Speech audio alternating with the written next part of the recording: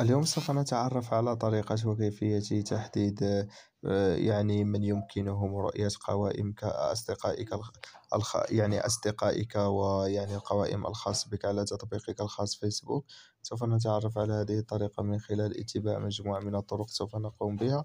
نأتي إلى الأعلى نضغط على الصورة المصغرة في الأعلى. نأتي إلى هذه القائمة الخاصة هنا. سوف نقوم بالنزول للأسفل ثم نضغط على الإعدادات هنا. بعدها نأتي إلى نافذة الإعدادات. نضغط على التحقق من الخصوصية. ثم نضغط على الأشخاص الذين يمكنهم رؤية ما تشاركه.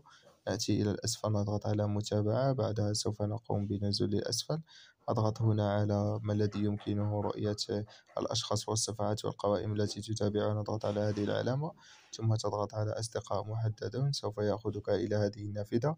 سوف تقوم هنا بإضافة أصدقاء التي لا تريدهم أن يقوم ب أو أصدقائك الذي تريدهم أن يقوم برؤية قوائمك الخاصة وأصدقائك على تطبيقك الخاص فيسبوك وهنا نكون قد انتهينا.